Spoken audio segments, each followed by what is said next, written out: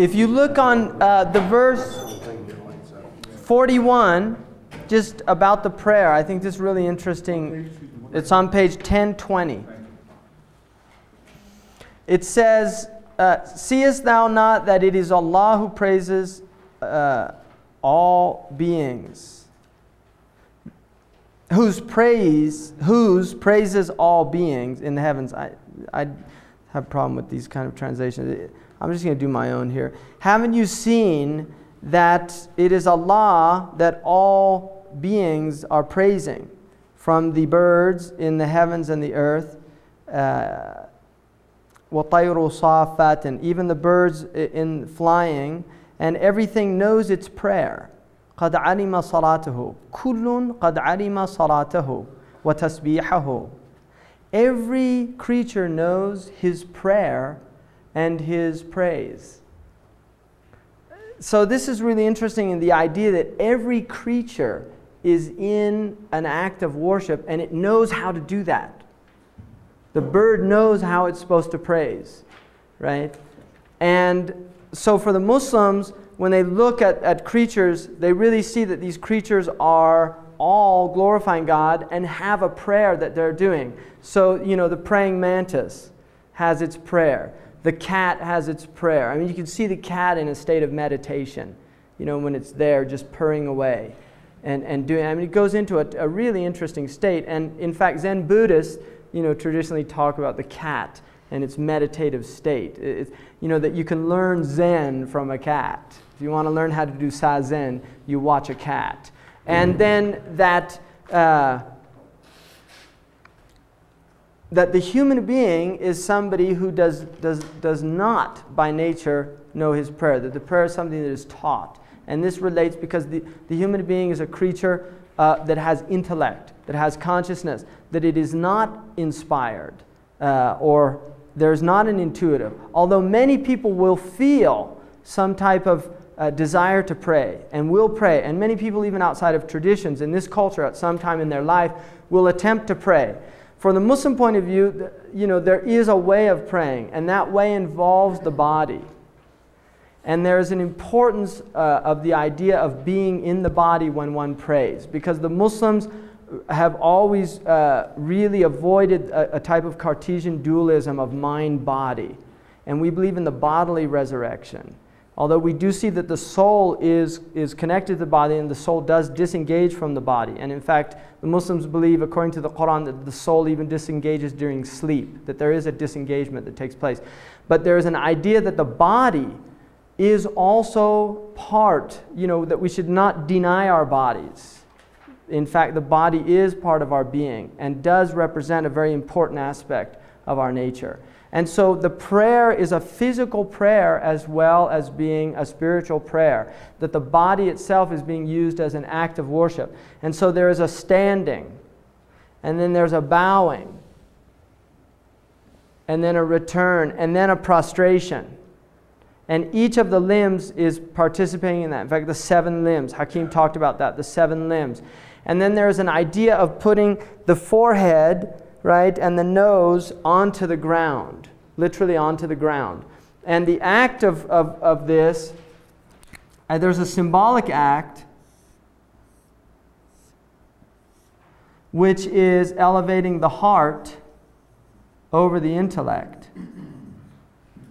That there is an idea that, that in the act of worship, that we're, we are submitting the intellect and we are elevating the heart because the heart, according to the Muslims, is the organ of cognition.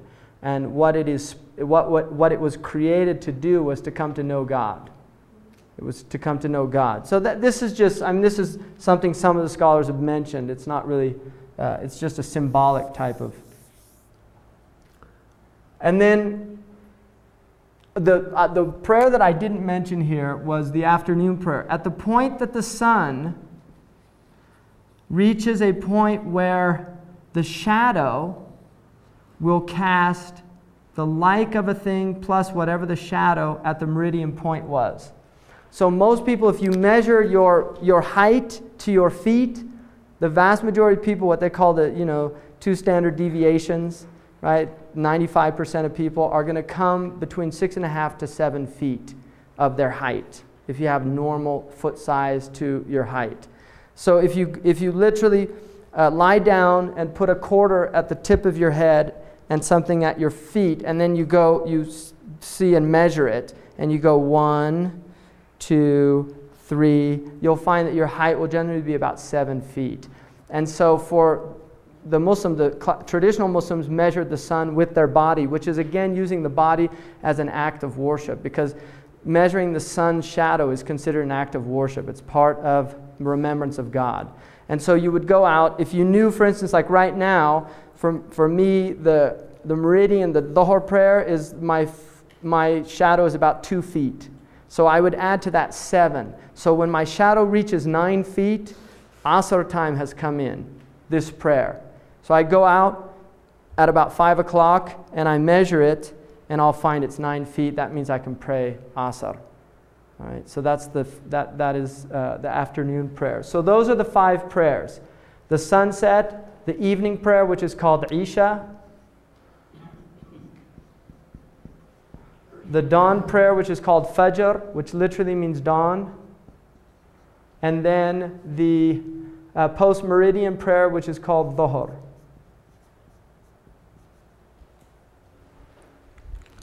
So those are the prayers. That's the first pillar. What you will do, or the second pillar, not including the Shahada. What you will do is you will, five times a day, stop everything.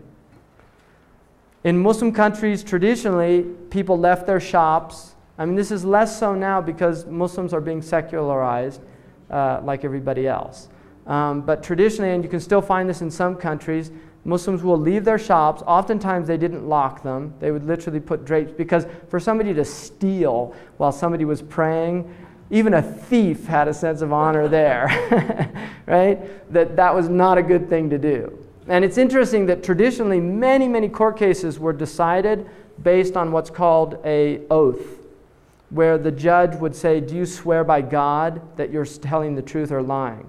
Many, many, historically, many court cases were solved because people were quite literally afraid of uh, bearing false witness or, or lying in that. And they would say, I can't say that. And, and, and that would literally end the trial. Many, many cases like that historically. So traditionally, people did have a sense, you know, that there were certain things, even the thief had honor. Um, there's a famous story of Imam al Ghazali, great theologian and, and scholar uh, who studied in, he's from Tus in Persia, and he'd studied uh, in uh, one of the great Persian cities. And he had spent two years transcribing all these books by hand. Because this people, you know, there weren't printing presses. You wanted books, you had to write them out. He went to the library, spent two years doing that. And on the way back, a, they were, their, their caravan was attacked by brigands. And they were taking his books, and Al Ghazali begged this chief of the thieves don't you can't take all my knowledge. And he and the thief laughed and he said what kind of knowledge do you have when somebody like me can steal it?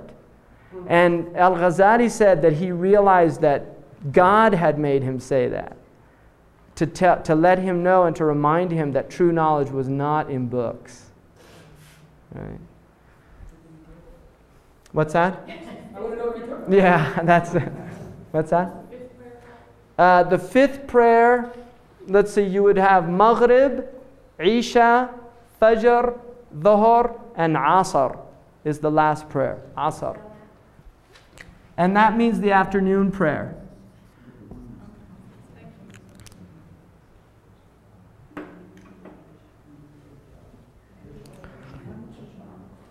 Now, Just to let you know what the Muslims are encouraged to congregate for the prayer, but they don't have to. It's very highly encouraged to congregate. Women can, can go to the mosque and congregate if they like or if they don't. It's, it's not uh, encouraged for them. Uh, the house is actually uh, where the women generally pray in most Muslim cultures. And I will just make mention of certain phenomena that you relate. Traditionally, there was no barrier between the men and the women praying. That is a later uh, innovation. It was not the tradition of the Prophet. The Prophet did not have a barrier between the men and the women. That came later. In many Muslim countries, you still do not have that barrier. For instance, African countries, North Africa, you do not have that barrier. In the Middle East, uh, in the Indo-Pak cultures, you will tend to find barriers. So that is more of a cultural phenomenon. It is not a religious, it's not part of the religious tradition.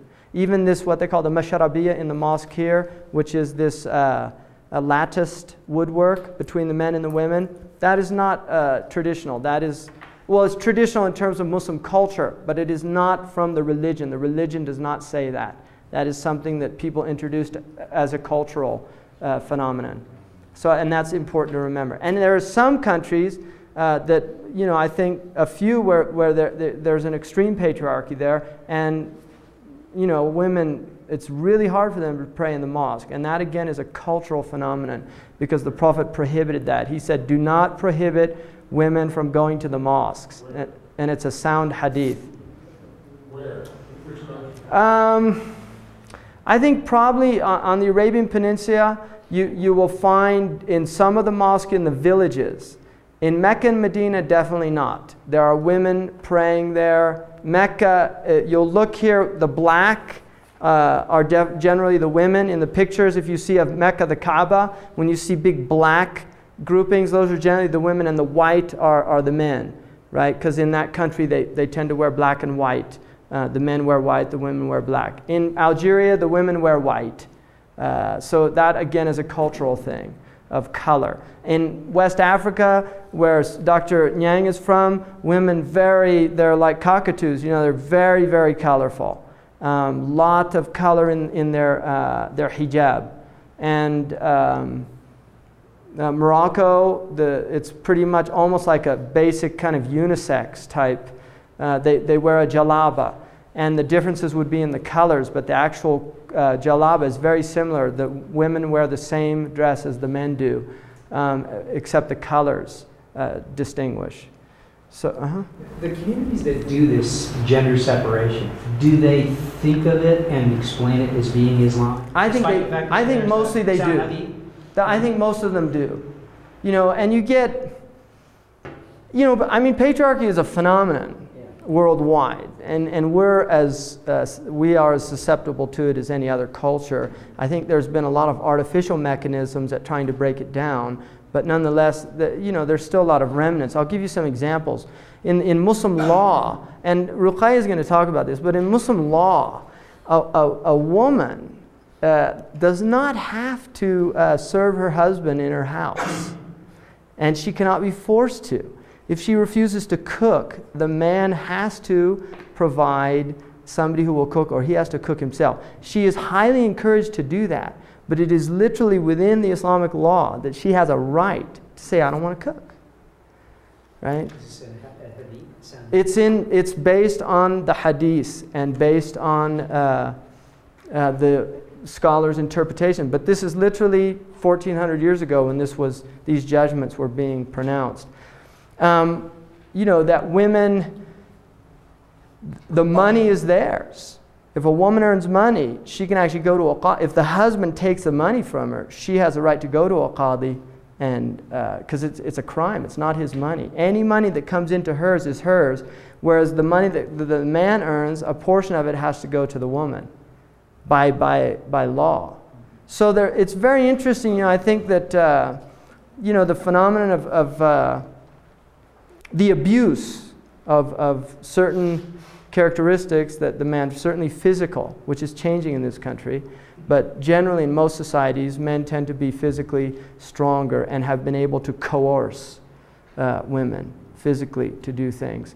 And there's a very interesting verse in the Quran uh, which is about Asya, the wife of Pharaoh, Pharaoh, when she says, Oh God, save me from my husband, the tyrant. And I just find that's really fascinating that that's a dua. You know, it's a, it's a, it's a prayer in the Quran from a woman about her husband who's a tyrant being asked to be saved from. And I just wonder historically, you know, how many women that that has been a type of, you know, sustenance for that type, you know, in this culture as well. I mean, we, have, we still have very serious problems with domestic violence. We've, and we tend to really look at the, the public space and not so much, we forget about the private space, about uh, you know, a lot of mental cruelty, a lot, it's all still going on. Um, but there's a type of openness that has emerged in the culture where these things, you know, people can talk about them. Mauritania, where uh, Sheikh Abdullah is from, uh, you know, we were talking about this, about uh, domestic violence and things like that. And it's interesting that in Mauritania, it's impossible for a man to hit a woman. It's literally impossible. One, because of tribe. In other words, marital relationships are very, you know, they're very related to the family. And so for, for there to be any injustices towards the woman, it's going to affect very uh, heavily on relationships, interfamily relationships, and things like that. And the women generally tend to be very educated from his uh, group, particularly, and know their rights, and, and they're, they're quite they're, they're strong women. There's also no polygamy in that culture at all because the women put a condition in their marriage contracts I don't want a second wife. And they know that's a right that they have. Right? They can stipulate that in a contract, and they do that. That's That the, absolutely. From Hadith. It's from again, it's it's from the scholar's understanding and interpretation. That, and the, the, there are early community instances where that was from the companions, where that was established. Did somebody ask a question? Yes, I did. Could you mm-hmm. just take a moment about the ablution, Ablution. the cleansing, I guess? Okay, good Prayer? point about the prayer. There is a water cleansing, ablution. I hate that word. Mm-hmm. I know. I think I don't know where that comes from. Ablution, ritual ablutions. It's a, it's a Latin word, but I just don't don't like it. Is it? It's Catholic? Do you think? Is it? It's used in the Catholic Church. It is, isn't it? Yeah, I think that's where they got. I just I, it's always bothered me that word. I just don't like the way it sounds. It sounds like something bad. Ablution. Brother, do your ablutions, right? Um, the, the, the, the, there is a water purification, a ritual purification with water before you pray. You should use a small amount of water. It's not meant to waste water. It's actually encouraged to use a small amount. And it's, a, it's basically a washing of the face, the arms up to the elbows, a wiping of the head, not a washing, just a light wiping, and then cleansing of the feet. And the idea is to enter into a ritual state. You know, I mean, all religious traditions have this idea of entering into a ritual state of purity before you go into the divine space. And that, that, that's the idea there. And if there's and the proof that it is ritual and not related to actual physical type, although it does have physical uh, qualities, is that, that you can use earth to do it in the absence of water. So you use the earth. The Prophet Muhammad said that the earth was the earth was given to my community as a place of worship, the entire earth, that we can worship anywhere on the earth, and as a purification, that the earth is seen as a source of purification. And the Prophet Muhammad, peace be upon him, said in a, in a, a tradition related by uh, Tabarani, he said, um, Beware of your mother, the earth, that you should transgress or oppress her, because she will bear witness against all of those who, who have uh, transgressed against her. And there is an idea in the Islamic tradition, literally, the Prophet Muhammad said that the entire earth is raised up on the Yom Qiyamah, on the day of judgment, and will bear witness. And the Prophet Muhammad said that rocks will bear witness, that trees will bear witness, that rivers will bear witness against those who did harm to them without uh, just cause. Right? Uh huh. Uh, ritual cleansing for women after menstrual? There is, like in the Jewish tradition. Yeah. The, a woman is considered ritually impure during the menstrual cycle and she does not pray during that period.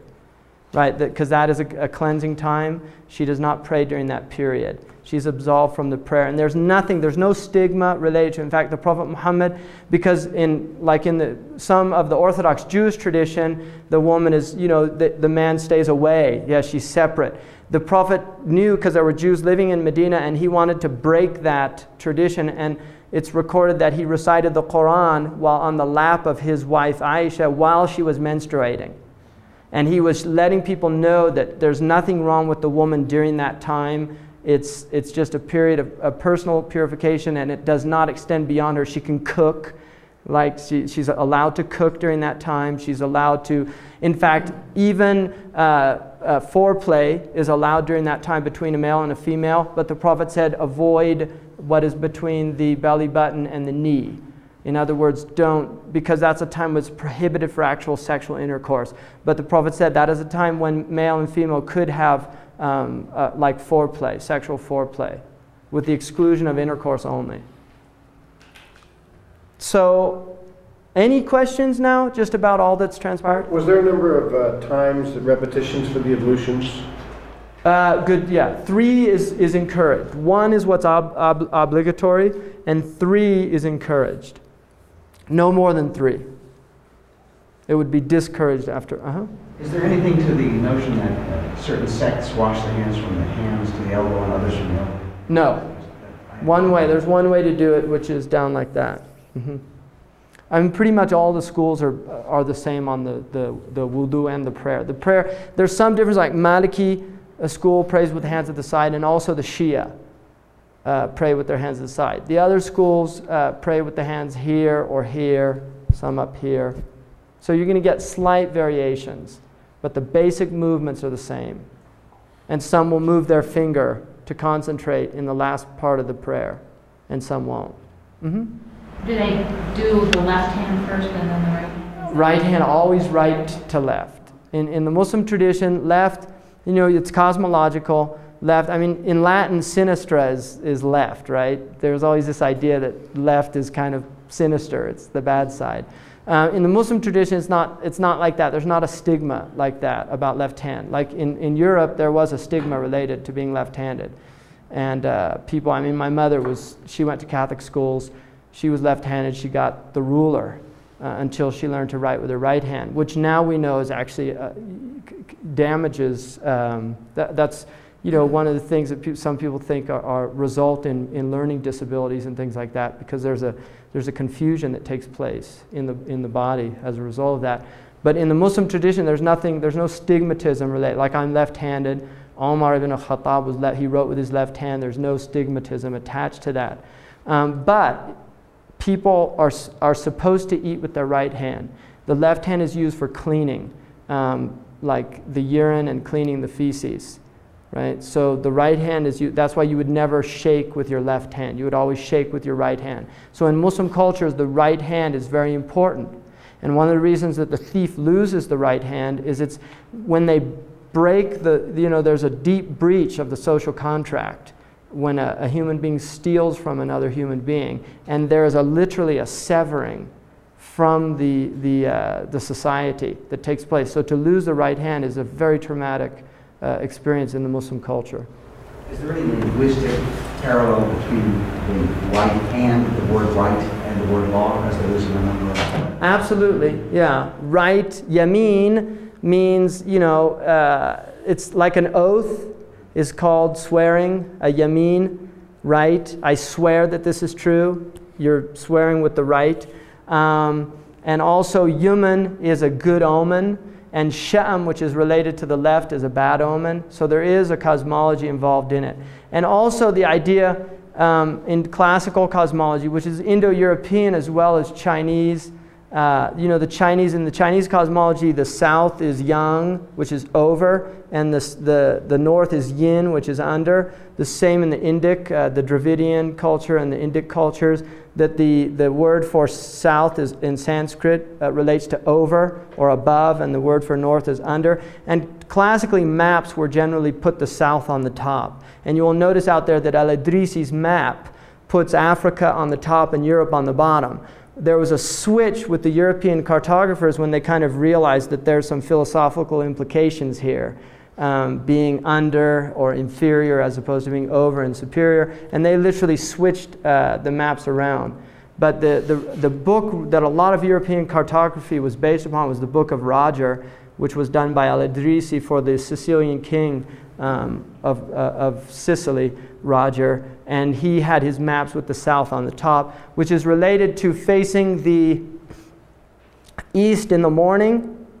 So the back is called Gharb, or the unknown, which is west. The east is called the Mashriq, or facing the radiance of the sun. The uh, south is th- called the right, like Yemen means the right. It's also the southernmost place in the Arabian Peninsula. And sh- Shamal is from north, which is from Shimal, which means left. So north is considered left to the, to the human body. In terms of this is cosmological, in terms of cosmology. So the, the north would be under the, the south. And the Muslims traditionally did their astrolabes with the south uh, as, as the, it was, the, the projection was from the south, looking up uh, to the sky. Any other questions? Uh-huh. Uh, You said earlier that uh, in some countries or cultures, it's uh, difficult for the Muslims to be reflective about their religion. And I was wondering if you could enumerate some of the reasons why it's difficult to do. Well, because I think people in the Muslim culture, it's just a given that you're right. You know, like it used to be that way in this culture. You know, it was just given. Christianity was true, everything else is false. That, that's just a given of any culture that has a dominant religious teaching that still has power and influence. And certainly Islam is still in that position in the Muslim world, where to question or to really think, why am I a Muslim? You know, other than the fact that I was born here, that most people won't come to that. There Uh, would be, there would be, there would be judgment. there would be social stigma, for one. But see, I don't even think that that should negate, even if there was, it's still important to, to reflect and think. You know, I mean, you have always had uh, people within cultures that have, have questioned things. I mean, there were, there were always people within the Christian tradition that remained Christians, but they could still challenge the culture. Sometimes they were burnt at the stake, other times they weren't. But the point is that there were people that would say, you know, is this right? Or is what we're doing right? I mean, that's an important human question. And uh, this is just a lot of uh, non reflective people. And then I think there's a lot of encouragement uh, for, for the absence of reflection for social political reasons. You know, I mean, in this country, uh, you know, we're a country of entertainment. People know massive things about sports and basketball and baseball and football and adults that can give you brilliant analyses of, you know, uh, why this team's going to make it to the Super Bowl and have all their stats at hand, and they don't have a clue about the national debt or why we're paying over 50% of our tax dollar to interest on our national debt or why our schools are, are literally crumbling before our eyes, why there's uh, children killing children. Why, you know, really, there, there's just not a lot of emphasis on analyzing, on thinking, on seeing. So, I, you know, we're as much, I think, you know, we, Americans, we, you know, we tend to delude ourselves uh, often. I mean, you're all educated people, so it's probably not the case, but there's certainly a lot of people out there that really haven't given a lot of thought. Um, that they're, they're much more uh, obsessed with, uh, you know, the latest entertainment, their, uh, what the latest movie is out there, you know.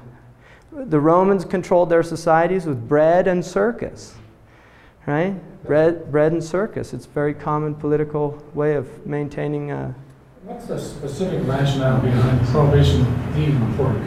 of pork.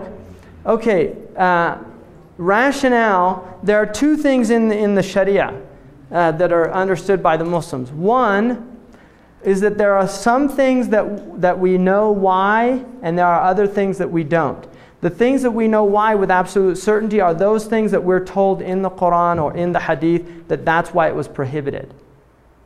For instance, in the Quran it says, Do not go near sexual perversions because they are foulness and they lead down a terrible road. So, illicit sexual relations. The idea is that they will lead down a terrible road. There's a hadith of the Prophet Muhammad that perversity will never manifest in a people except they're afflicted with diseases and illnesses that were unknown to previous generations. So, the Muslims would see that, you know, that breaching sexual uh, laws that, that are given by God from the Muslim perspective result. There are consequences. In other words, that the moral realm has laws that impact us at the biological, at the psychosocial level, just as there are physical laws of cause and effect and, and things like that. Right? So, so Muslims see that morality is not this arbitrary thing, that there is a reason, right? And, and this is the way the Muslims view it. And I, I think a lot of Christians have that feeling too. I mean, a lot of Christians point out that if you are uh, monogamous, uh, you will not. You know, if, if two people who are, are both virgins enter into a marital situation and do not uh, breach those boundaries, they do not, they're not susceptible to venereal diseases. It is a simple fact of uh, biology, right? So uh, that, that's at one level. Now, the other level is that there are things that we don't know why God has said, don't do this. And the reason that the scholars say is that there are some things that he has not told us is because it's one, a test, that will you do it even though your intellect is not fully capable of comprehending the wisdom behind it?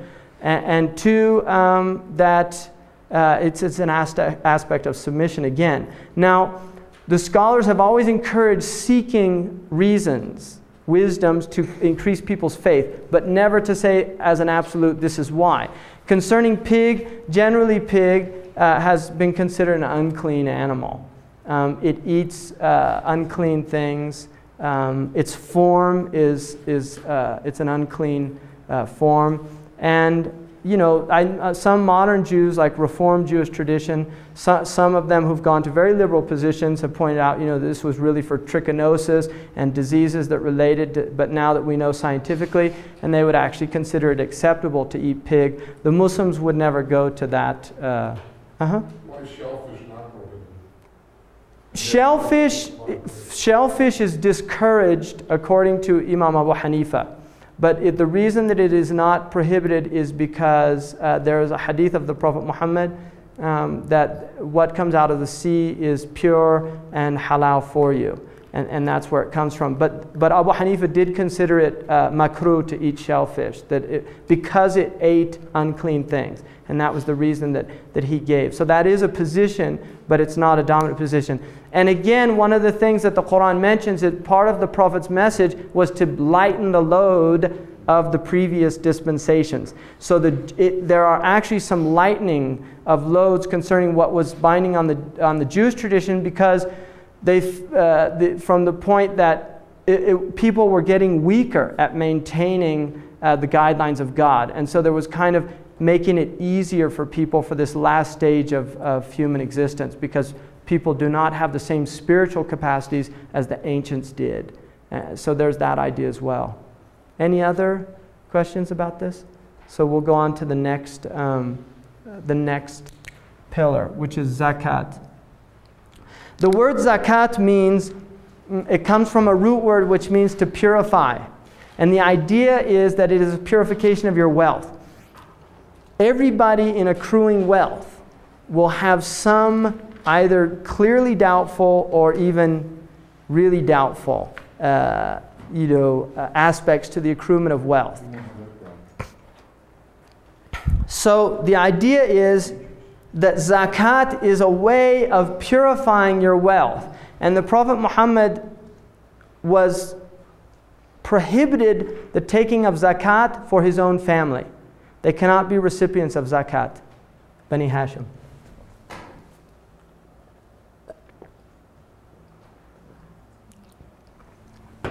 The reason is, is that he said that zakat is like the, the feces of wealth.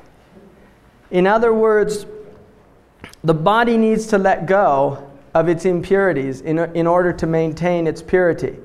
And zakat is seen as a letting go of one's wealth in order to purify and make the, the, the, the wealth that it has grow, literally. Yeah, if, if how do they then turn that around um, to, for the recipient who is receiving this? The recipient who receives the wealth, for, for the person, it is a purification. Yes. For the one receiving the wealth, it is a right.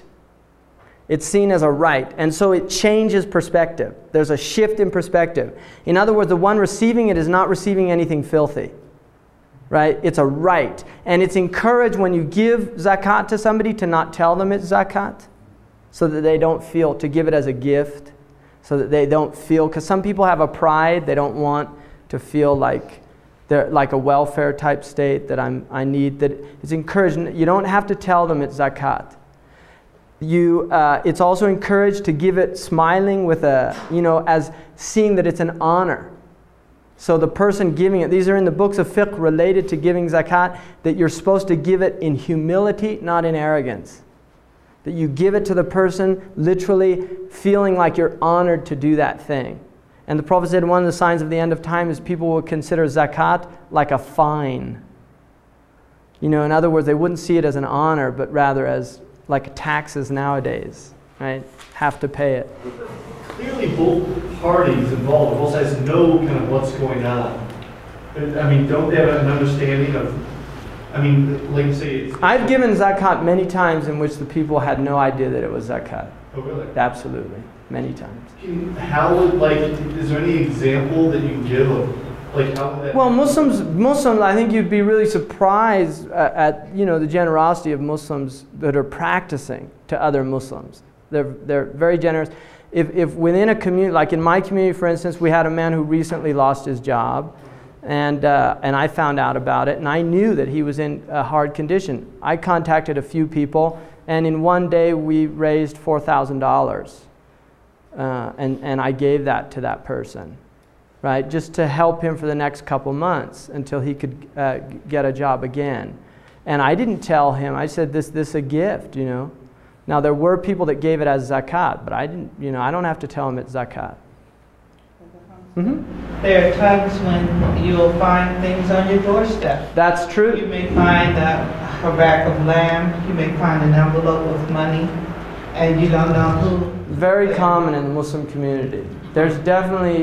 Uh, I think Muslims do still have a, a sense of taking care, like things like homelessness in the Muslim world. Those are still real shocking. Like the other day, we saw a man, in, and I was with Sheikh Abdullah, and he didn't have a shirt on. And he asked me first if he was crazy.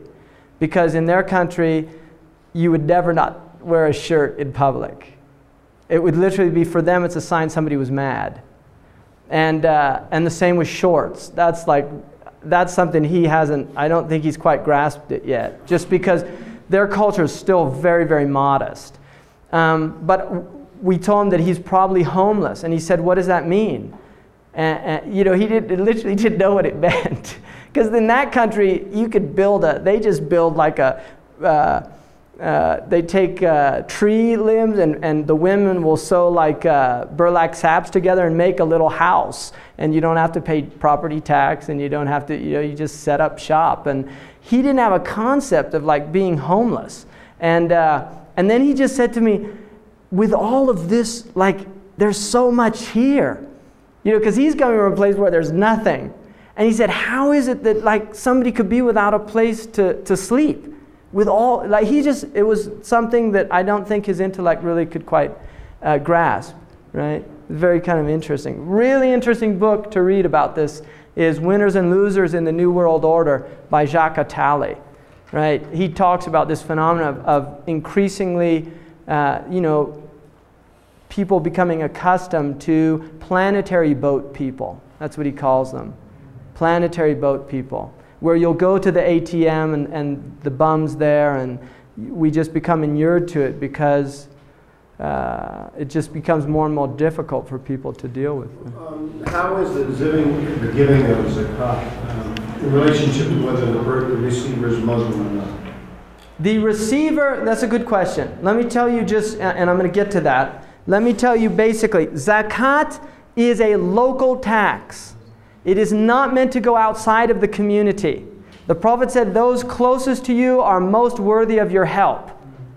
So the idea of acting locally is really important.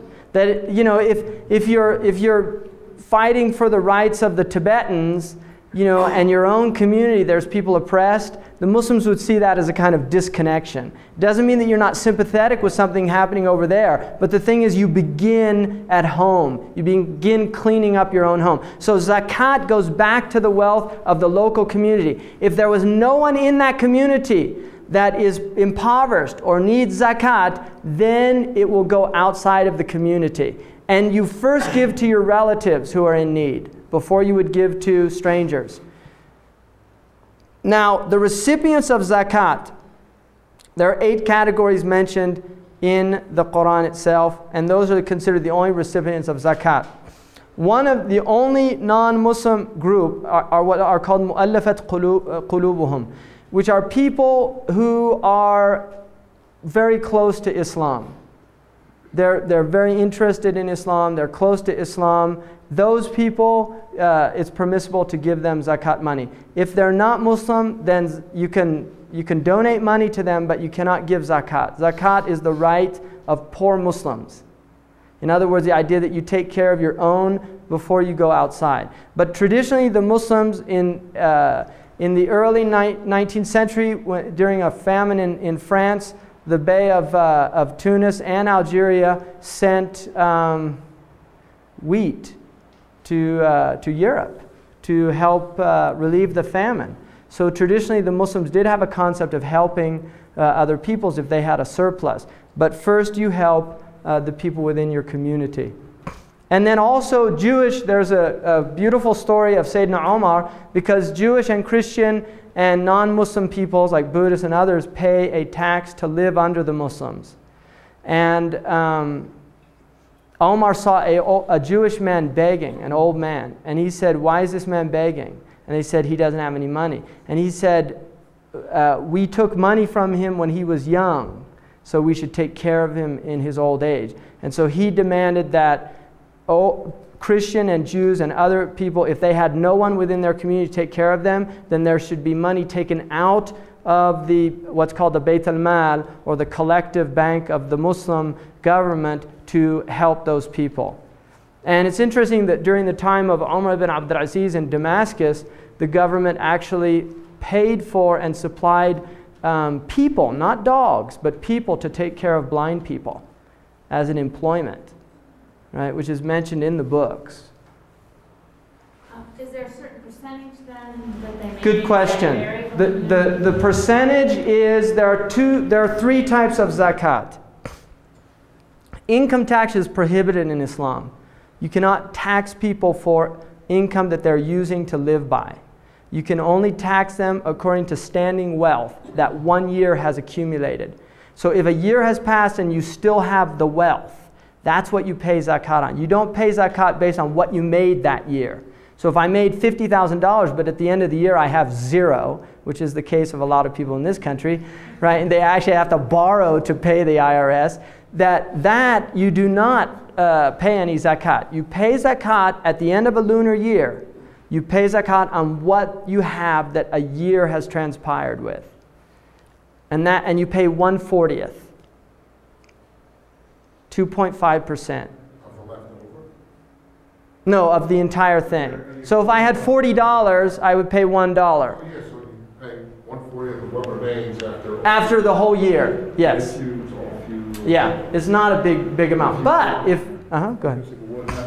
You may, you may only need, let's say, uh, you know, a a six thousand dollar car to get around, wants and needs. Right. You know, I mean, you, you you may, you may only need, let's say, uh, you know, a, a six thousand dollar car to get around, but. But you buy a $100,000 one. Exactly. Okay, um, Herb asked, a, I think, a good question.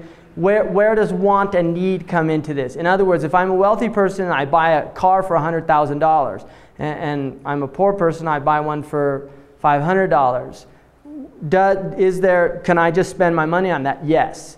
Wealthy people, their money is discretionary. It is highly discouraged to waste, and it is actually prohibited to be uh, grossly extravagant. But the Prophet Muhammad said, Allah loves to see the traces of His blessings on His creatures. And so it's encouraged for a wealthy person to dress not extravagantly. He should wear things in order to show the blessing on him. And it's, you know, it's, there's a beautiful book about called Envy Towards a Social Theory. Fascinating book about the, the, the uh, disruptive aspects of envy in a culture. And uh, the, one of the worst things in Islam is envy. It's literally considered one of the worst things. It's one of the seven, deadly sins in the, uh, in the Christian Catholic tradition. My father was Catholic, and he said that he's, um, he's unfortunately familiar with about four of them. And uh, his friend told him, one's enough to kill you. but envy is one of the seven deadly sins, right, in, in, our, in, in our Western tradition. In, in the Islamic tradition, it's also one of the real bad uh, things. And, and so the idea is that poor people should not envy rich people. It's, it's really considered a bad thing to envy rich people. Poor people should thank God. In fact, the Prophet Muhammad said, in terms of your worldly condition, always look to people below you. And in terms of your otherworldly condition, always look at people better than you. So, in terms of righteousness, piety, look at people that are superior to you, that you might never become deluded about yourself and you always want to improve. But in terms of the material world, look at people worse off than you so that you feel grateful for what you have. Mm-hmm. Just what was the book that you said was, uh, you mentioned the influence, the effect of envy? Yeah, it's called Envy Towards a Social Theory, and it's, it, it's a German author, and I can't remember his name right now. I actually just got the book a couple months ago, and so I don't have the author's name. At, hmm If um, there's no income tax and zakat is determined on somebody's net, um, net- It's like a capital gains tax more. You know, it's like capital at the end of the year. Okay, does, does the zakat satisfy and fulfill the needs of the poor? Is it their poor do, is it? There is a scholar in Qatar who has proven that if zakat was paid in the Muslim world, there would be a gross surplus of wealth today. It's very interesting because there's also zakat of agriculture and livestock. So uh, agriculture has one fifth. Now, the World Bank estimated that if 2% of the world's uh, agricultural uh, uh, of the world's agricultural crops were, were taxed 2%, that there would be no hunger anywhere. Now, Islam says 5% for irrigation that you did yourself, 10% for agriculture based on natural irrigation, like rain and things like that. So if you didn't work, you pay more. If you did irrigation, you pay less. So 10% of wheat, corn, um, barley, all of these grains is taxed and, and it's supposed to be given and distributed to the poor. Also, livestock. So, uh, for every uh, five camels, one sheep is given, like that, right? 30, 30 cows, a calf. Th- 40, uh huh. Question, um, you were talking about the uh, livestock, and I was just thinking about, uh, uh, about Saudi Arabia, you know, when all the, all the pilgrimage, when they, all these people come and they wish to make sacrifices. Right. How do they deal with it? They, they can them and they send them around to poor people around the world. That's what they do now. The, the meat that's sacrificed during the Hajj, and no, I, like I didn't sacrifice. You don't have to sacrifice if you made a, uh, a there's three ways of making Hajj. And I made it the way that the Prophet ﷺ made it, where you, it's not obligatory to sacrifice. You can if you want to. I did not sacrifice. Um, but if you do sacrifice, the meat can either be eaten there, it's, it's encouraged to distribute it amongst the poor. And the Eid, the reason that's encouraged to sacrifice during the Eid traditionally was that poor people generally did not eat meat very often. And so the idea was on the Eid, it was a time when you brought meat to the poor people to give them meat. Um, now meat is becoming more increasingly uh, cheaper, and so you're finding people are, are meat eaters all over. Um, Sayyidina Omar said, Beware of meat because it has the addiction of wine. And he also said to one man who used to eat meat every day, Every time you desire meat, you buy it? And he said, Yes. And he said, I'm afraid you're going to be from the people who lose all their good deeds in this world. Uh, in other words, that you enjoy the world so much that you can't show the right, right gratitude. So it was not encouraged to eat meat all the time. And now Muslims have become heavy meat eaters, but traditionally most Muslim cultures were really more semi vegetarian uh, cultures. It's kind of more of a recent phenomenon, the heavy meat. And beef is very new in the Muslim world. Traditionally, Muslims were not beef eaters, they were goat and sheep. Uh-huh. In Muslim cultures, where, particularly in the 20th century, where there's been, say, oil discovery and wealth, how is that affected zakat? Or is it causing problems between? That's a really good point. Yeah, there is a lot of problems. There's a lot of resentment. There's a lot of envy, things like that. But technically, um, buried wealth, there's different opinions about it. Most of the scholars say that it goes to the Muslim uh, collective bank, what's called the Bayt al Mal, and it should be used to develop uh, the Muslim communities, to help the poor, to build schools, to do these things. It should not be personal wealth. Some say that no, 20%. Uh, it should be taxed 20%, and then the land of the people that it was found on, they're the ones that uh, benefit from it. So there are some differences of opinion, um, but there's definitely, in many of the countries where there's been natural resources uh, discovered, and the Muslims do have a lot of natural resources in the Muslim communities, um, there's just been a gross um, expropriation of the wealth and exploitation of it, which is very unfortunate. And there's also been a lot of outside uh, influences. I mean, we know when Mossadegh, who was the prime minister of Iran, uh, wanted to nationalize the oil. Um, you know, there was a CIA coup that, that, that ousted him. So there's hands outside that are also impacting very seriously how the wealth is being used.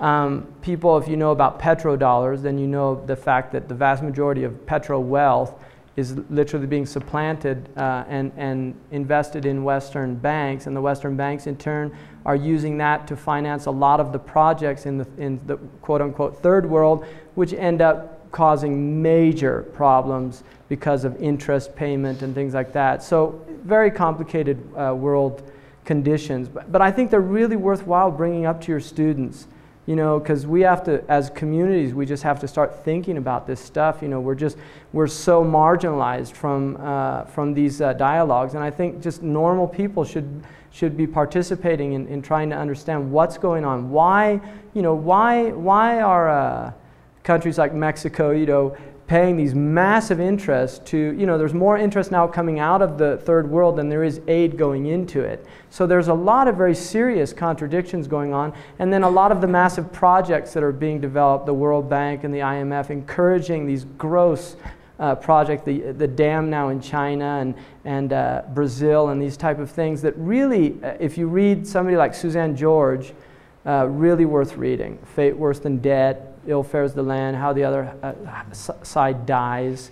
Um, she worked for the World Bank and, and then kind of reneged and realized that she felt that they were doing a lot more harm than, than good. And she's written some really, really worthwhile critiques. Uh, and not from a kind of conspiratorial type, uh, just really kind of analyzing the thing. I think in, in very, Susanne George, she, she, she's, she works now, the, I think she's supported by the Catholic uh, Church, actually one of their organizations. Uh-huh. You said there are eight types of zakat. I mean, there are eight recipients. Recipients. There are three types of zakat. Can you run through? Poor people. By definition, there are two types of poor people. One is called miskin, and the other is called faqir in the Quran. The miskin is the one who doesn't even have a day's worth of, uh, of their livelihood. The poor one is who, of somebody who does not have a year's s- supply. They do not have enough money to get through a year and they are accepted as a recipient uh, for. for deserving for it and undeserving, where the Christian charities see it. Yeah, that's a good point. Um, if the person is known to use things like if they're alcoholic or known to do things, then yeah, you should not support people that you know the money is going to go, uh, and there are more worthy people for it. That, that is encouraged to look for the, the more worthy um, people. And then you have the people who collect it. So there is a portion of it taken out to employ the zakat collectors. And then you have indebted people, people who are in debt. And that is a type of debt as long as it was not accrued through wrong actions like gambling. And it is a debt in which they're in serious trouble. The debt has reached a level where the, socially they're, they're really being jeopardized. Um, and then you have the, and also uh, indentured servants, people who bonds people. Because in Islam, traditionally, although this doesn't exist anymore in the Muslim world, traditionally there were people who were bonds people that were under the yoke of somebody. And those people in Sharia, if they desire to be freed from that uh, yoke, then they have a right to zakat to pay off uh, their, uh, whatever their worth is, right? And, and so that's a group. And then also the, um, so that's five. And then you have um, the, what, what do mean? And then you have people, the Ibn Sabil, who is somebody who's traveling, and this is also pre ATM um, because it, he can be a wealthy person as well. So it's somebody who's traveling and they were robbed and they're far away from their home and they don't have access. And it still happens because ATM isn't, right? 80% of the world still doesn't have um, telephones, by the way, right? So um, here we forget about that, right? But uh, it's, it's for somebody who was traveling and they lost their wealth. Those people are asked uh, you know, it's, they're permitted to get the, uh, to receive the zakat. And then for people who are called mu'allafat qulubuhum, which are either near Islam or they have just come into Islam, and you can give them zakat as a way of binding their hearts to the community. And then the last group is fi sabilillah, which are people who are defending uh, the homelands. So anybody who is uh, is defending like jihad, like the Bosnians. When they were fighting, many people sent their zakat to Bosnia uh, or Afghanistan, for instance, right?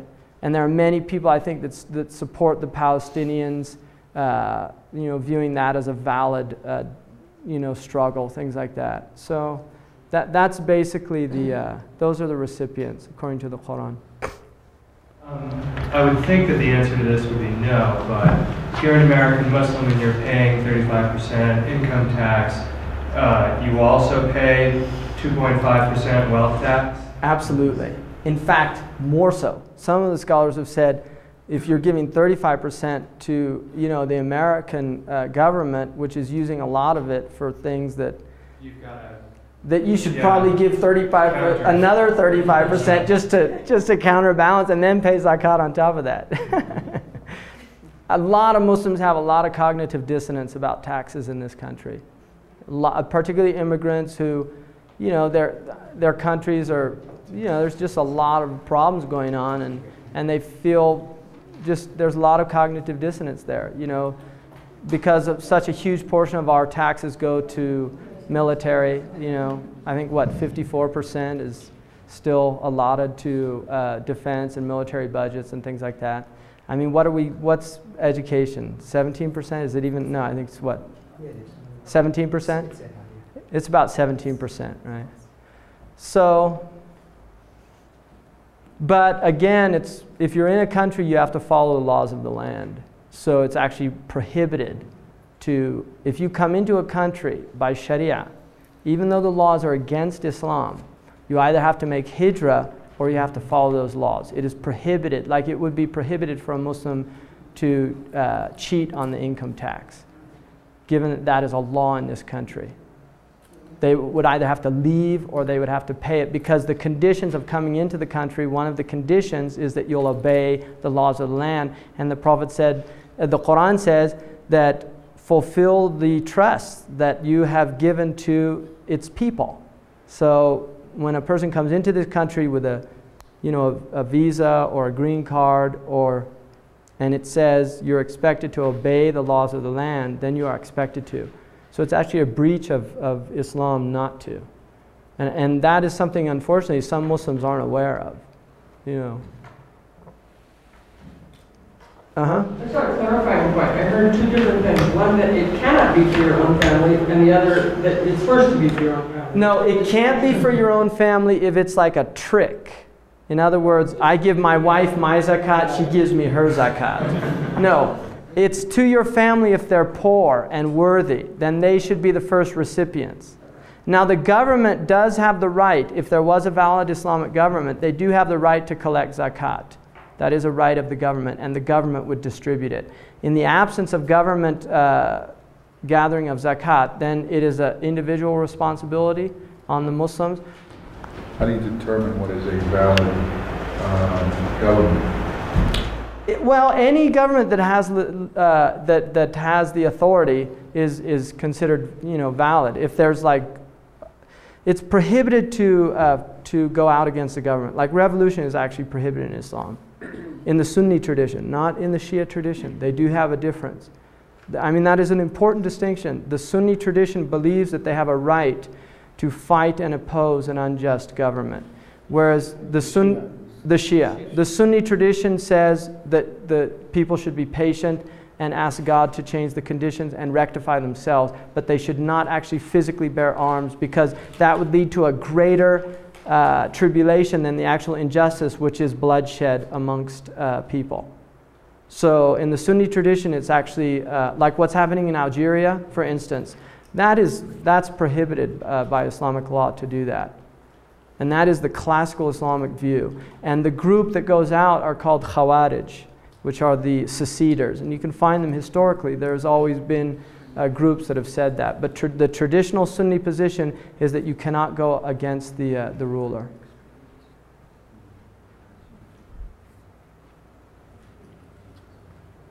Any other questions? When you mention a legitimate uh, Islamic government, would this be a government that has as its ultimate law the Absolutely. I mean, that's the ideal. But even if they're not implementing the Quran and they don't openly say that they don't believe in it, they're still considered uh, the legitimate government. So they would then have the right to collect uh, Yes. And, and this could be in lieu of uh, a welfare department or something like this?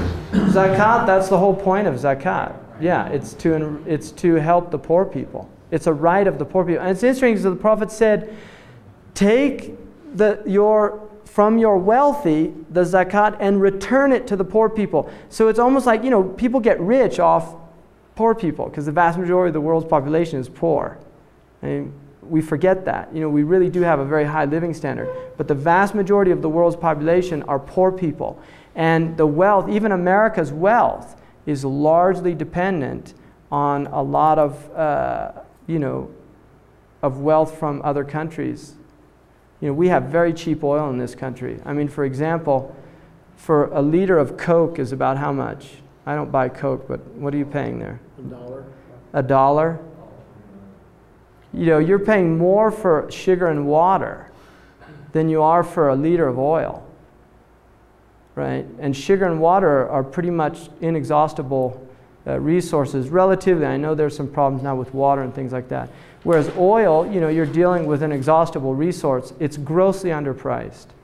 Oil is grossly underpriced. I mean, we, you know, we're paying a dollar forty for a gallon of gas. It'll take you 30 miles, 40 miles, and you pay you know, relatively the same amount for a bottle of sugar water that's going to rot your teeth and give you diabetes, you know. So it's really interesting that, that oil is so cheap. And uh, I mean, oil should probably be around, what's that? I was saying four or five.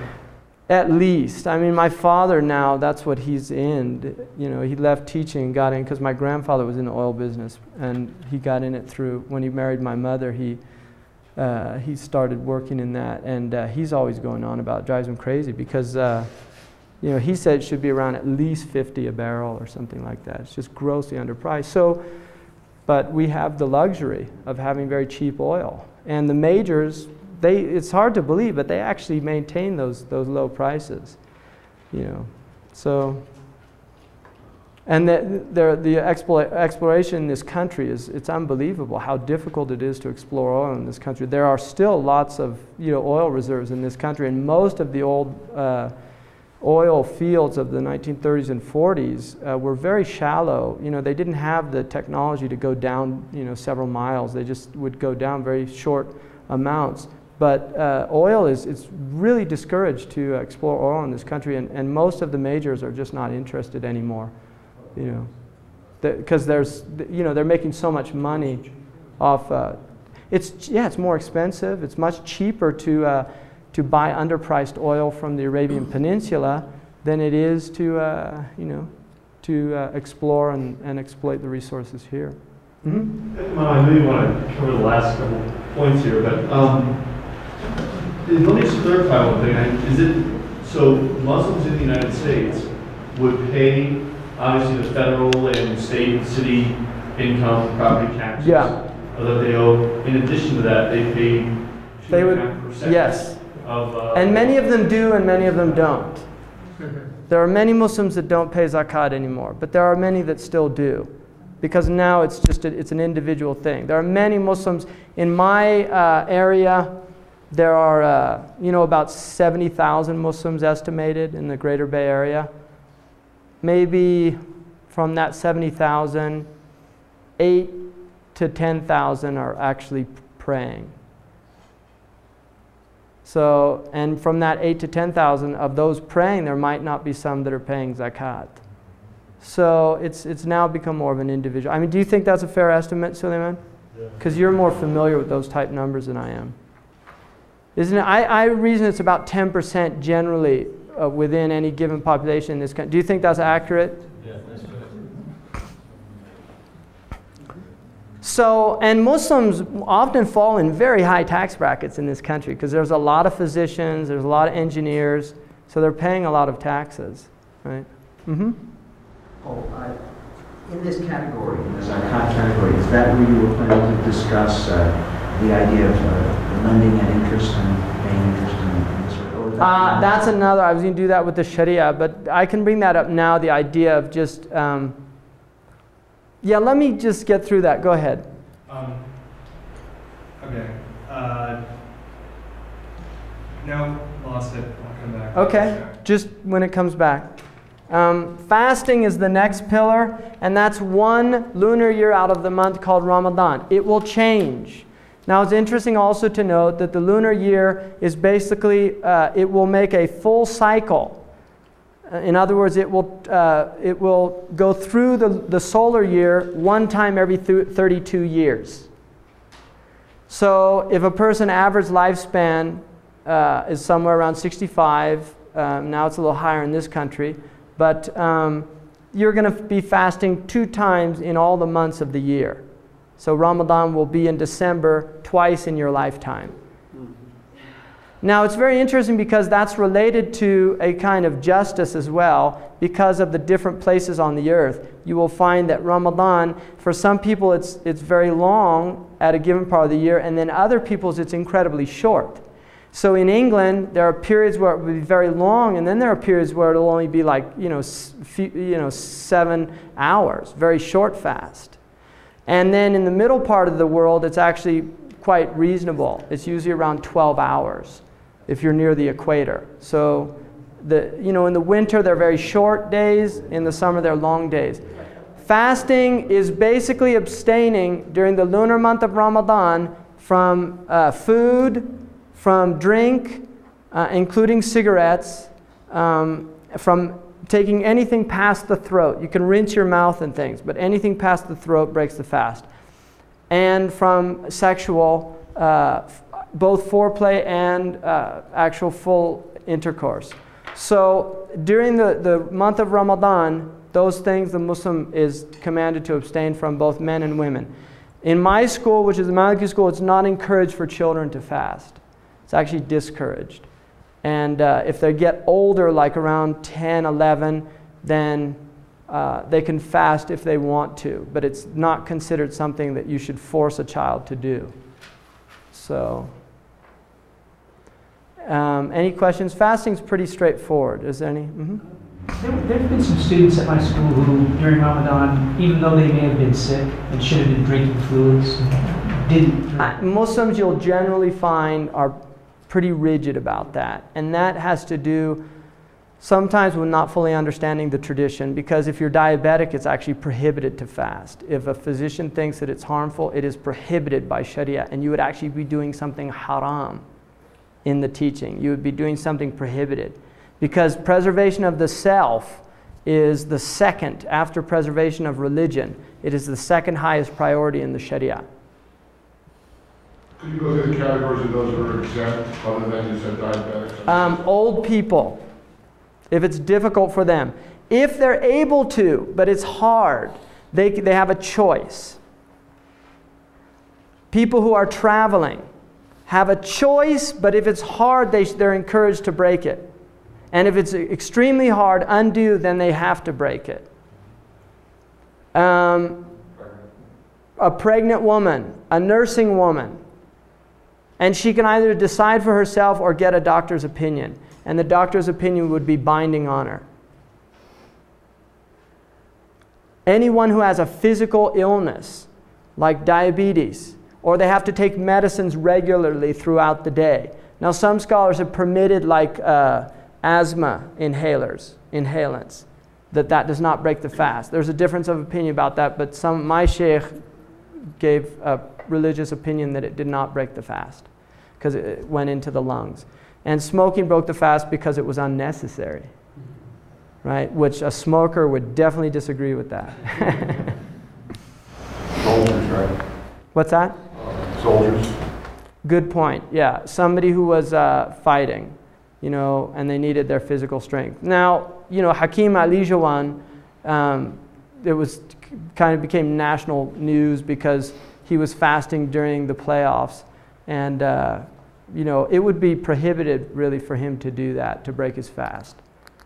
You know, because it's a sport. Right. That's why. If it was a valid job, like it is permissible, for instance, if there was a harvest that had to be done and they could not do it uh, fasting, uh, and they would lose the crop or something like that because of that, some type of situation like that, then it would be actually permissible to do it. I mean, uh huh. What are the hours of fast? Fasting goes from the Fajr prayer, which is dawn, until the sunset prayer. And then you can eat, sleep, uh, and well, you do sleep in the daytime anyway, but you can eat, drink, and have uh, relations with uh, your, your husband or your wife. It's during the, di- uh, the nighttime. How about getting married? During Ramadan? During Ramadan. You could. You could. Absolutely. Prophet got married in Ramadan. yeah. Mhm. Ramadan predates Islam. The month predates Islam, not the fasting. But the month, the lunar months of Islam predated Islam. What predates Islam is the, uh, the rites around the Kaaba. During Ramadan. No. Ramadan does not predate Islam. Fasting in Ramadan is second year Hijrah. Before that, the Arabs did not fast.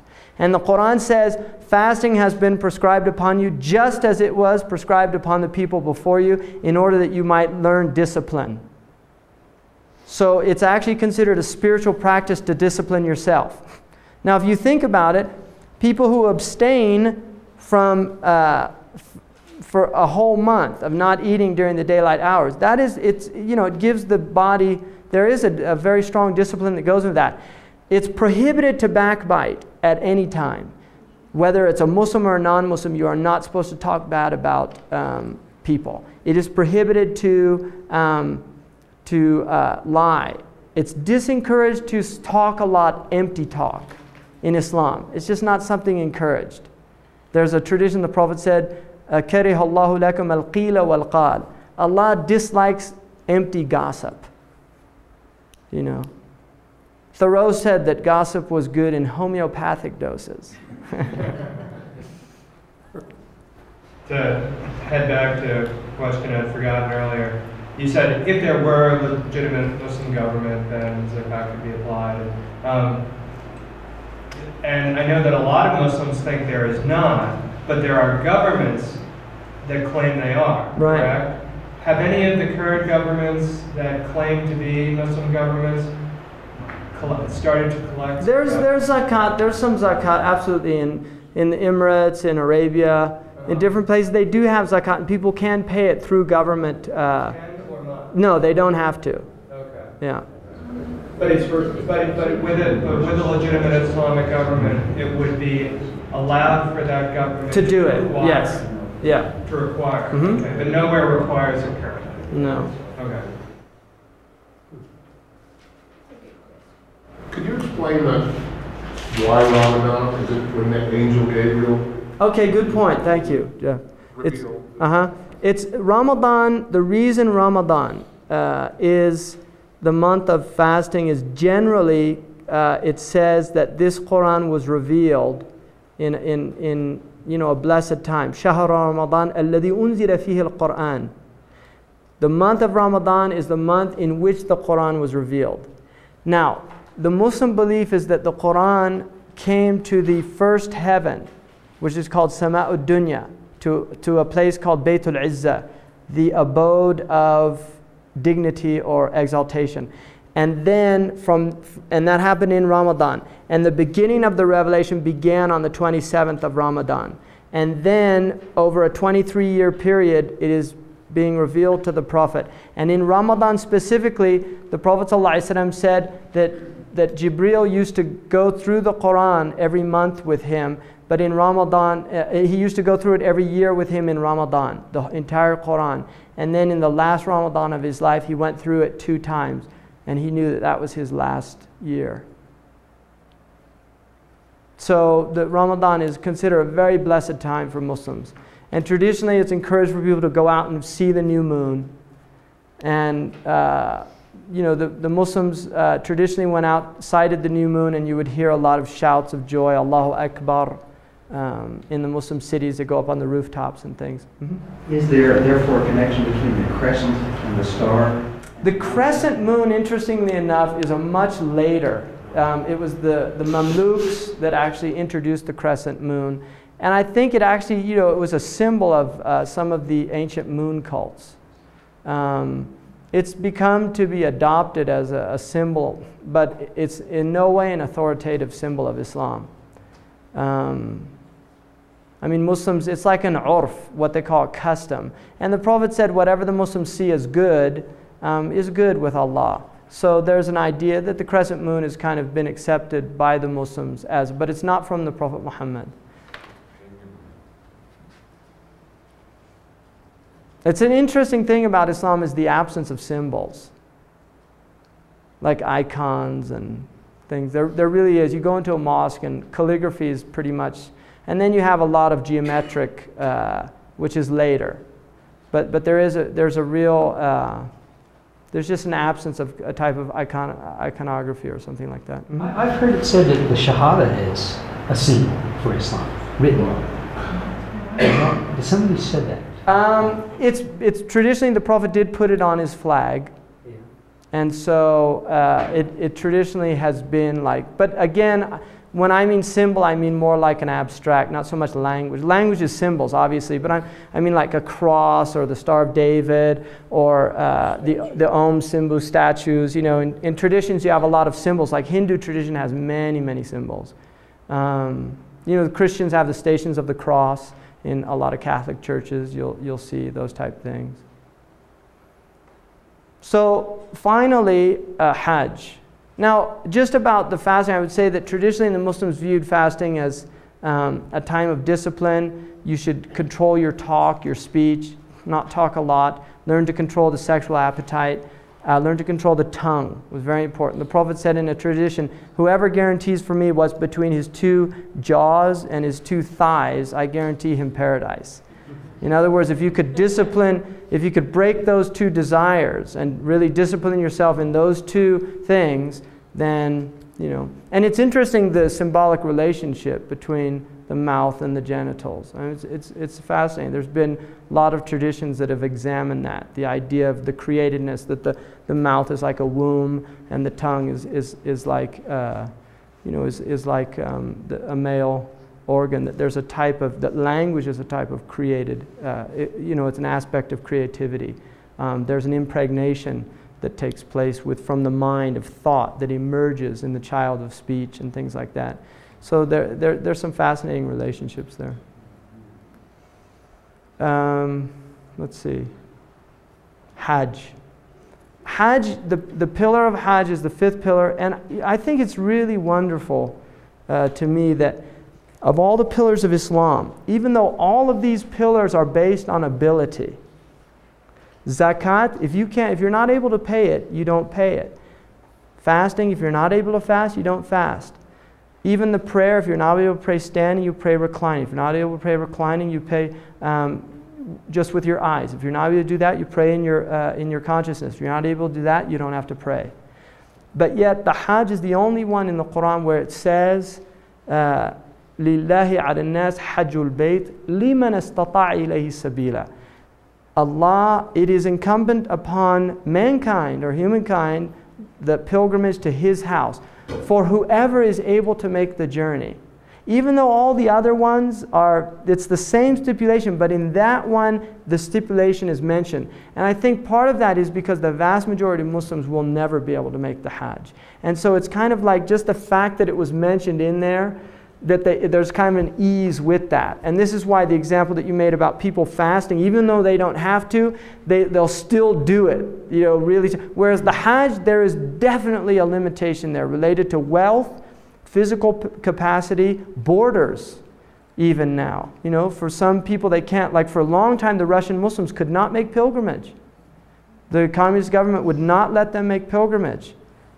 So there's limitations, and yet right there in the Quran it says, for whoever is able to do it.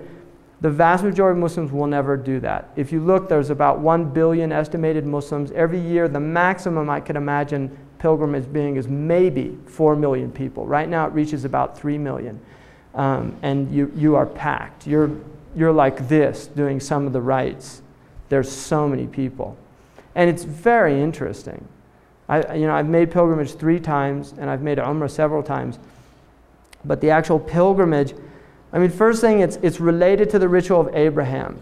The, the Muslims believe that Abraham uh, took his son Ishmael to the valley of Becca or Mecca. It's also called Becca in the Quran, Mecca and Becca.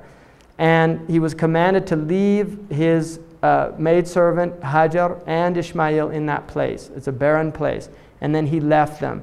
There's, uh, the, what the tradition says is that Hajar, who was uh, from, she was an African woman uh, who was the mother of Ishmael, that she began, began, went into a state of anxiety about the place because there was no water, nothing. And she began to run between these two uh, hills, Safa and Marwa. And she did that seven times, worrying about her baby. And on the seventh time, the well of Zamzam uh, emerged. And there's a well there that still to this day feeds the, the pilgrims of Mecca. And she drank from the well, and then some people there uh, who were passing through uh, helped them, and they become established. And Abraham comes back when Ishmael is becoming a man and builds with him the house in Mecca. This is what the tradition says builds with him the Kaaba. Now, some say that the Kaaba was first built by Adam, uh, and some say that Adam and Hawa met on the plain of Arafah, which is the word Arafah means to recognize. And it's where they recognize each other after the garden on the earth. Allah Ta'ala, Allah knows best about those things. But the, the basic idea is that the Kaaba was the, the first house established for the worship of one God only. And Ibrahim built the house, and it's a, it's a cube, very simple structure, um, nothing there. And then the rites that are related to it is you, you enter into a ritual state which is called ihram. For a woman, it's taking a bath and dressing in her normal dress. Women tend to wear white on the Hajj.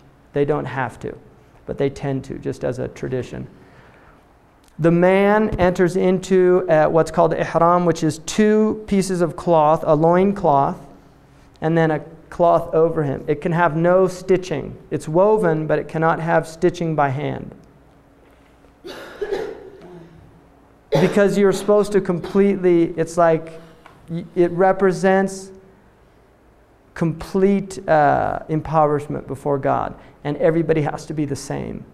And so it's encouraged that everybody looks the same the rich man, the poor man, the free man, the bondsman, everybody, the king, the, the, the pauper, everybody becomes the same. And that's the idea that humanity before God is equal. There's absolutely no differences.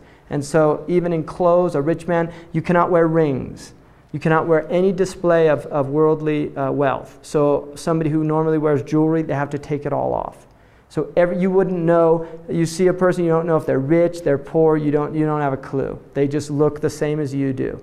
And so, the idea is literally that humanity completely strips themselves of any of their social uh, accruement, social status, and they go there before God equal.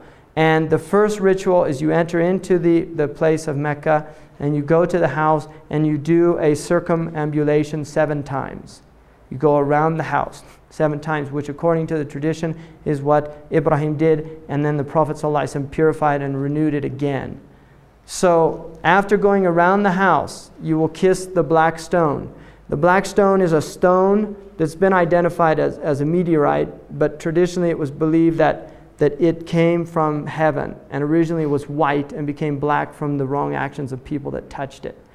And you go and you kiss the stone, and the prophet said the stone is the, it's like the right, uh, it's, it's like the right hand of God on the In other words, a symbolic, like you go and kiss the hand of the, the king or the pope. For the Catholics, they would kiss the ring.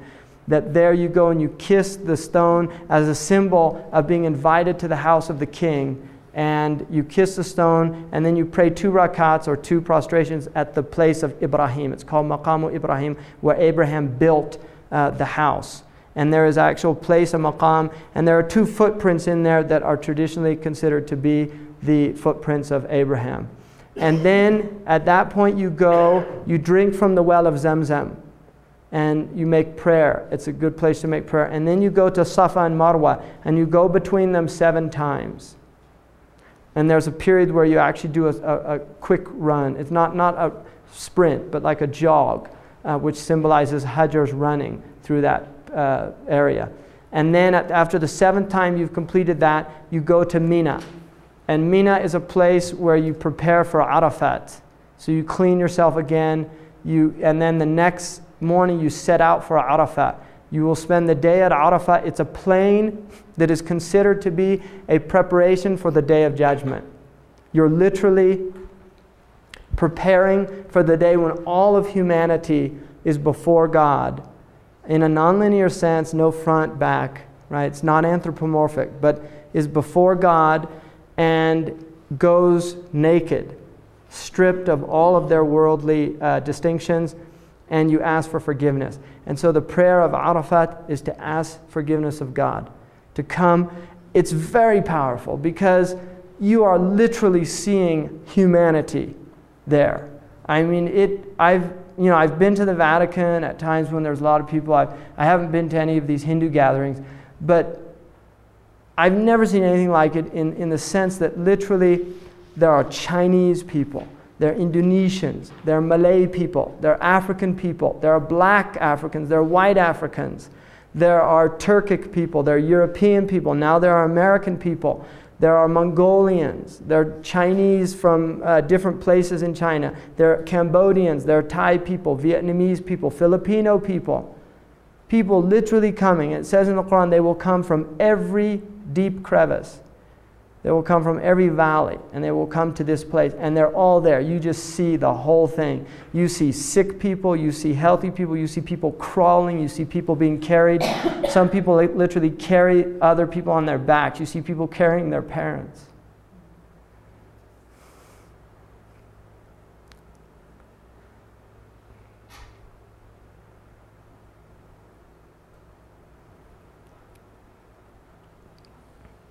So it's, it's just a very, very overwhelming experience to, to enter into that sacred space. And the great reminder on that day, the, the verse that was quoted when the Prophet made Hajj, there was a black man who, who gave the adhan. And the Arabs looked down on, you know, they had this uh, racism, and they, they looked down on it and they said, you know, they asked why that man was giving the call to prayer. And so the verse came down that um, we have created you in, in peoples and tribes to, to know one another. So the idea is people come there really to, to learn. It's a little difficult. I'm just, I'm kind of getting back into that um, space, so just excuse me for a second. Hajj, for some reason, I just have a hard time talking about because I've been there, you know, and I've had the experience, and it just, they start coming back to me, that experience in that place. But, uh, so I'll just try to get over this. Um, the, the verse just said that, you know, we have created you in peoples and tribes to know one another. And it says the noblest in the eyes of God are the most conscientious. In other words, the, and the one thing that the Prophet said on the Hajj pilgrimage was there is no preference over a white man or a black man or a black man over a white man.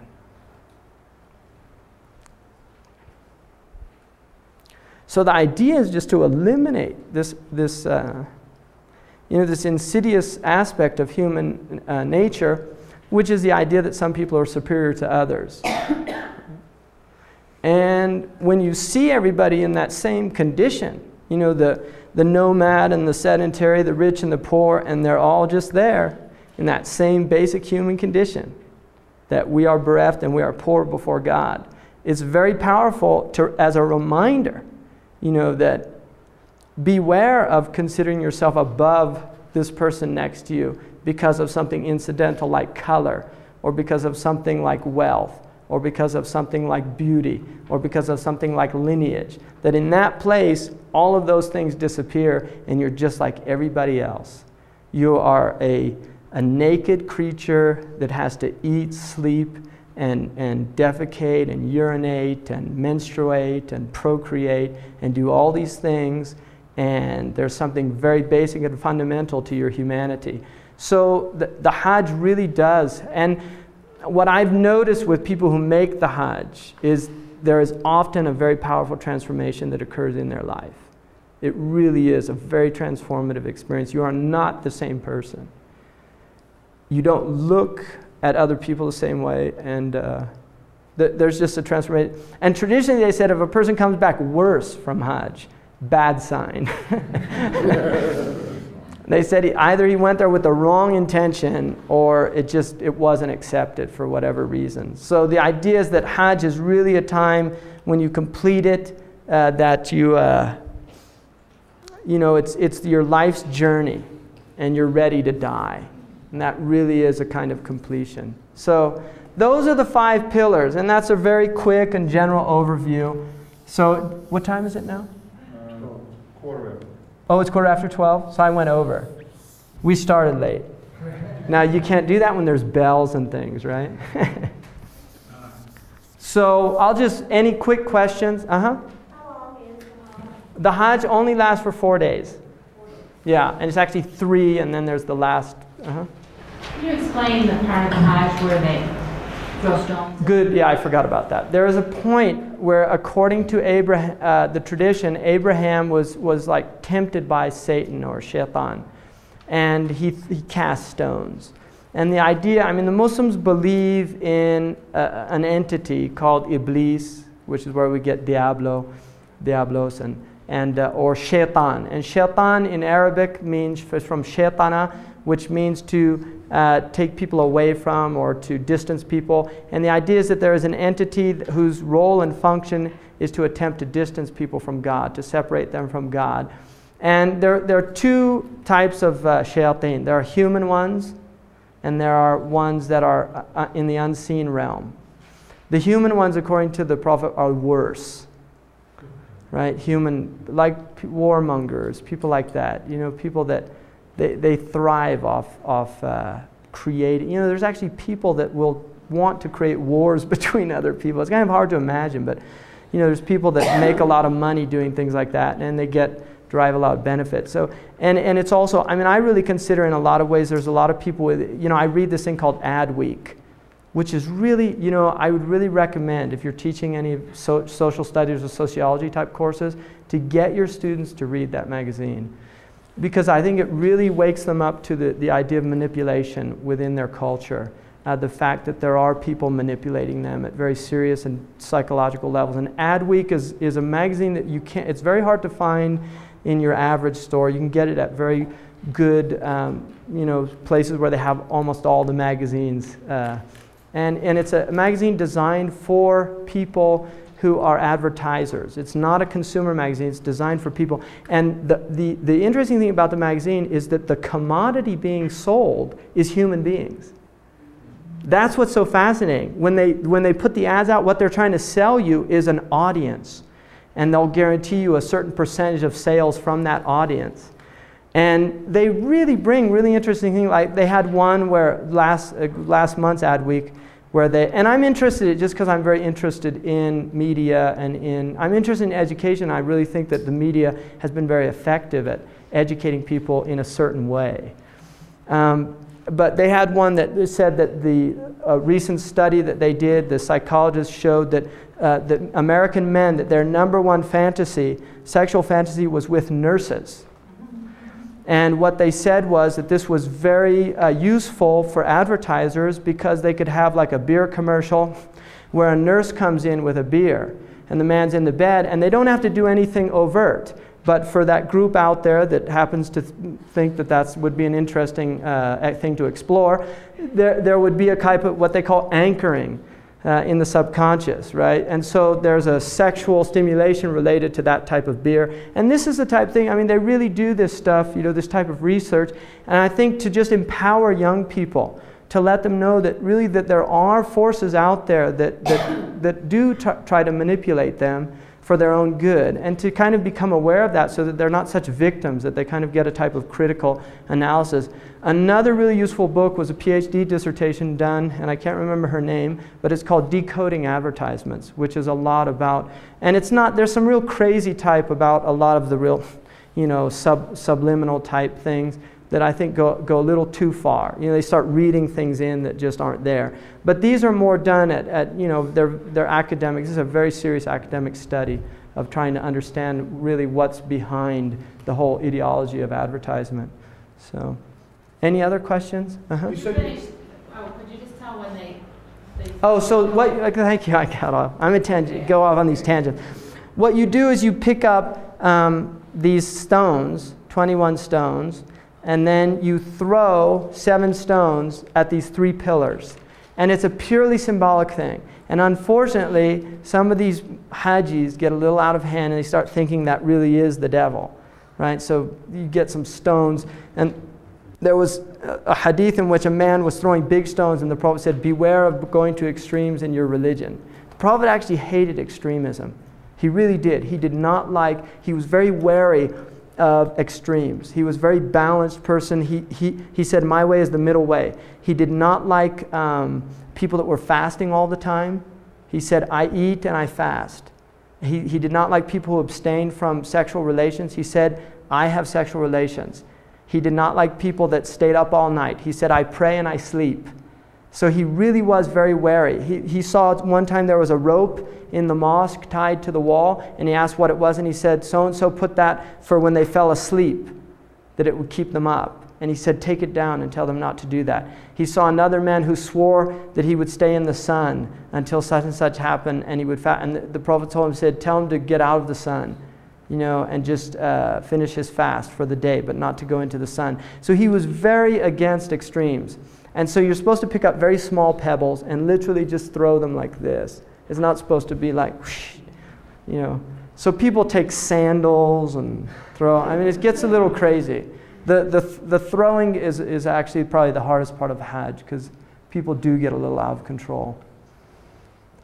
And then you're dealing with a lot of, you know, unfortunately, from the Muslim world, you're getting a lot of uh, people coming out of very ignorant backgrounds. A lot of them don't know their tradition. They haven't learned the rules of Hajj. So you, you, you have a lot of things. But it's amazing, given the amount of people, given the space, given the intensity, there are very, very rarely any incidents of, I mean, there's, I have never heard of any violent, outright violent incidences where people actually um, other than I think there were some riots uh, that the Iranians during the whole Iranian Revolution did. But my three times on the Hajj, if somebody starts getting angry, there's all these people around them just tell them, you know, be patient, you're, you're on Hajj, you know, and they remind them and things like that. And, and people respond to that. And the same is true in Ramadan. You know, you're fasting, you know, just relax and calm down. Can you explain that feast at the end? It symbolizes the, that Abraham, salam, that when he was told to kill his son, um, what the Jewish tradition calls the Akedah tradition, that he, uh, it was replaced with a ram. And there's a difference of opinion in the Muslim tradition whether it was Isaac or Ishmael. Um, the, the, I think most Muslims now believe that it was Ishmael, but early on, the, the Prophet never said which child it was and it's, and it's not really considered important to the, it's not essential to the story. The importance is the act of submission. And um, you, what you do is you celebrate the, by sacrificing uh, a ram, preferably, or some other animal, and then distribute that uh, meat to poor people and things like that. Mm-hmm. And other Muslims take part in that around the world. Even though the Hajis are doing it, other Muslims like in Santa Clara, people will go out and they will sacrifice on that day. Many people, and it's encouraged to do that. Any other? So I think that, that ends the uh, session on Islam, and I hope that was beneficial, and thanks for your attention.